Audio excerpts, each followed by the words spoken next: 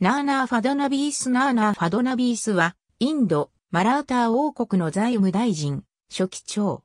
本名は、バーラージー・ジャナルダンバーヌである。彼は、最初マーダ・ブラーオの死後に、マラーター同盟の実権を握り、巧みな外交政策で、同盟の勢力を維持した人物として知られる。イギリス東インド会社の職員で、歴史家、ジェームズ・クラントダフは、彼は、ヨーロッパにおいては、マラーターのマキャベリと呼ばれていたことを記している。1742年2月12日、ナーナー・ファドナビースことバーラージー・ジャナルダンバーヌは、チットパーワン・バラモンの家族の一人として、サーターラーに生まれた。その祖父、バーラージー・マハーダージー・バーヌは、マラーター王国の宰相バーラージー・ビシュバナートと非常に仲が良く、ムガル帝国の暗殺者から彼を救ったこともあった。そのため、バーラージー・ビッシュバナートに彼は重用され、孫のナーナー・ファドナビースも、また同様の待遇を受けた。王国の宰相バーラージー・バージー・ラーオは、彼を、息子のビッシュバース・ラーオ、マーダブ・ラーオ、ナーラーヤン・ラーオと同様の教育を受けさせたという。ナーナー・ファドナビース1761年1月の第三次パーニーパットの戦いののち、バーラージー・バージー・ラーオが死ぬと、マラーター同盟の結束が崩壊していった。マラーター同盟は事実上、デカンの宰相府のほか、北インドのシンディアや、マールワーのホールカル家、中央東インドのボーンスレー家、グジャラートのガーエクワード家がそれぞれ分立していた。宰相位を継いだマーダブラーは、ニザーム王国やマイソール王国に、たびたび外征を行っていたが、ナーナー・ファドナビースがその間に、マラーター同盟の内政を担当した。同年11月28日に、マーダブラーオは、結核より死亡し、弟のナーラーヤン・ラオが即位した。その叔父ラグナート・ラオがその摂政になったものの、彼は、妻のアーナンディ・バーイーと共謀し、ナーラーヤン・ラオの暗殺を考えるようになった。そして、1773年8月30日、プネーのガネーシャの祭りの最終日、ラグナート・ラオは、四角シュメールシング・ガルディを放ち、ナーラーヤン・ラオを自室で暗殺させた。遺体はその日の深夜に密かに川で仮装したという。ラグナート・ラオの犯行であることは明らかだったが、証拠がなかったため、10月10日に彼がナーラーヤン・ラオの後を継いで王国の最小となった。だが、ナーナー・ファドナビースは事件の徹底究明に努め、ラグナート・ラオとその日、アーナンデバーイ及び実行犯と思われたシュメールシングが RD の調査を行った。そうした中、1774年4月18日に、ナーラーヤン・ラオの未亡人が息子マーダブラーを、ナーラーヤンを生んだ。ナーナー・ファドナビースと、主な重心は、ラグナーとラオの範囲を決定し、この幼児を最小位につけた。そして、ナーナー・ファドナビースは、その後見人となった。だが、廃位されたラグナーとラーは、プネーを逃げ、最小マーダブラーをナーラーヤンを要するナーナー、ファドナビースを打倒するため、1775年3月6日に、イギリスとスーラート条約を結んだ。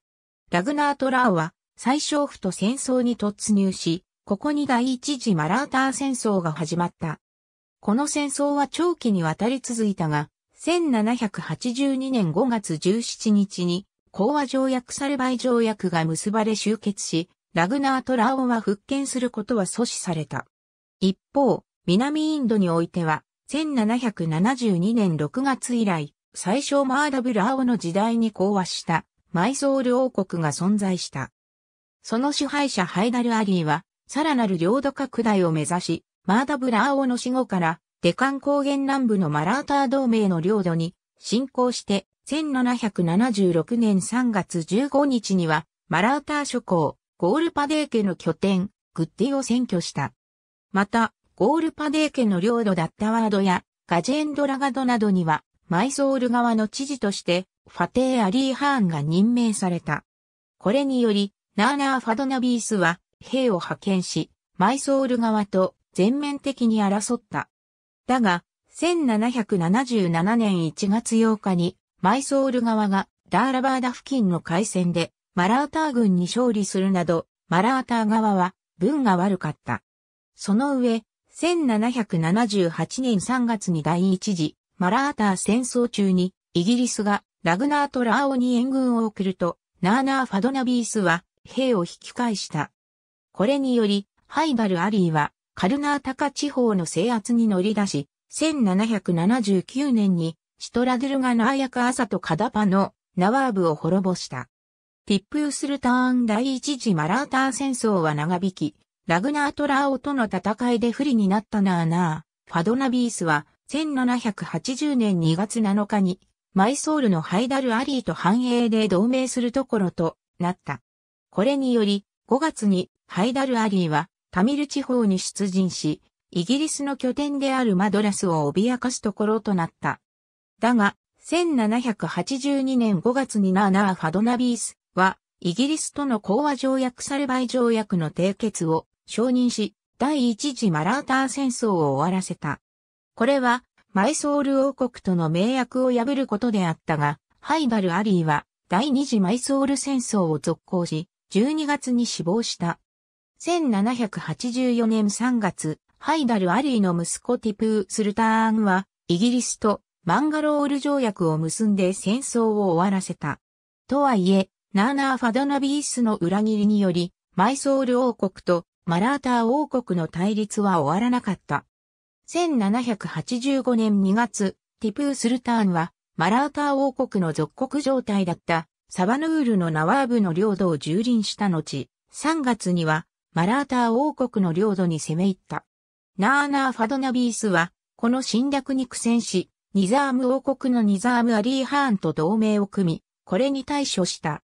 1786年6月、マラータ王国軍がガジェーン・ドラガドの戦いで、マイソール軍に対勝すると、1787年2月14日にナーナー、ファドナビースとティップ・スルターンとの間で講和が結ばれた。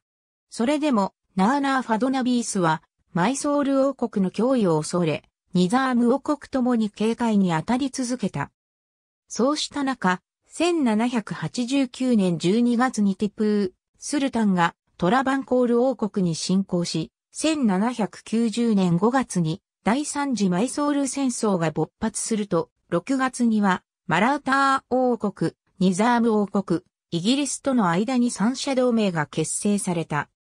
そして、1792年に三者同盟軍は、マイソール王国の首都、シュリーランガパトナを包囲し、3月に講和条約、シュリーランガパトナ条約が結ばれると、マラーター王国は、マイソール王国の領土東北部を割譲された。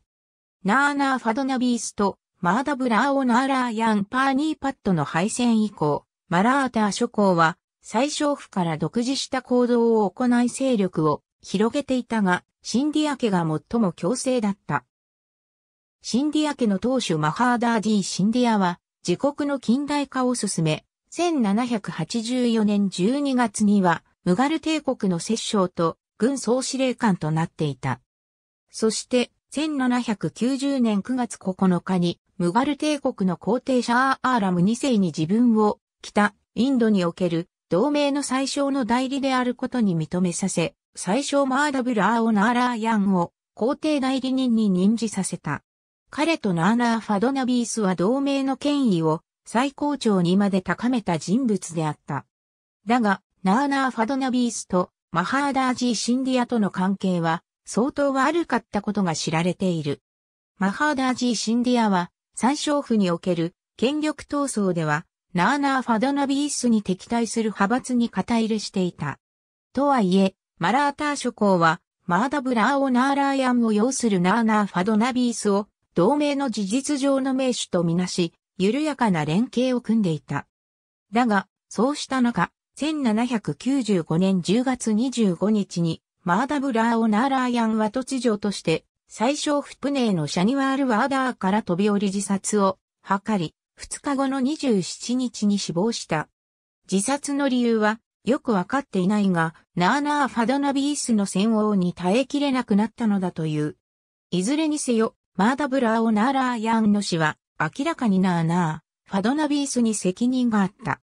マーダブラーオ・ナーラー・ヤンには、後継者がおらず、マラーター同盟では、シンディア家やホールカル家などの諸侯によって、最小位をめぐる争いが起こった。ナーナー・ファドナビースはこの争いを止めるべく、争いに参加していたラグナート・ラオの息子バージー・ラーオ2世と組み、彼の擁立を計画した。そして、1796年12月4日にナーナー、ファドナビースの指示のもと、新たな同盟の最小として、バージー・ラーオ2世が就任した。だが、ラグナート・ラーオの息子ということもあり、ナーナー・ファドナビースが共同統治者として実際の統治に当たった。また、1799年5月に南インドのマイソール王国の君主ティプー・スルターンは第四次マイソール戦争で戦死している。そして1800年3月13日にナーナー、ファドナビースはプネーで死亡した。